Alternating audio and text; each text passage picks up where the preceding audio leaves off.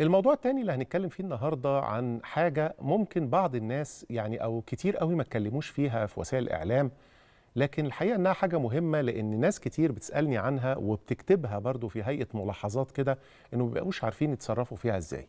وهو عن الكذب الكذب. الأطفال لما تكذب نعمل إيه؟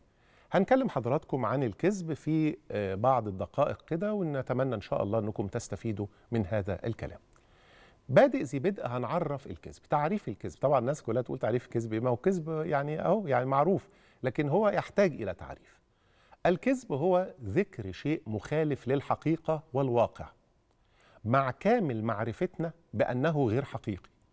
وده بغرض الحصول على فايدة أو تجنب ضرر أو إيقاع أذى بآخرين أو حتى دون مكاسب واضحة يعني حبا في فعل الكذب يعني.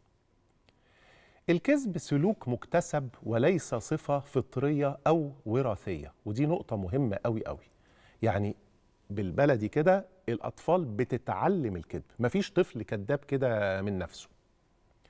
ولا يجب اتهام الطفل بالكذب قبل عمر أربع سنين. الله دي حاجة مفيدة أوي. آه طبعا. قبل أربع سنين ما ينفع قبل ما الطفل يتم أربع سنين ما ينفعش نقول ده كذب. إيه السبب؟ السبب في كده إن الطفل قبل عمر أربع سنوات بيكون عنده عجز في استخدام مفردات اللغة بشكل كامل. ده بخلاف إن قدرته على التعبير بتكون غير مكتملة. كمان قبل العمر ده بيكون عند الطفل عدم قدرة على التمييز الكامل ما بين الواقع والخيال. يعني تبص تلاقوا مثلا حاجة شافها في التلفزيون يحكيها بعد كده على إنها حصلت في البيت. نقعد نقول إيه اللي بيحصل ده؟ هو لسه مش مميز ما هو واقع وما هو خيالي. وكمان بيتميز الطفل قبل أربع سنوات بالتفسير الخاطئ لبعض الأمور. هقول لكم مثل عشان تفهموا قصدي.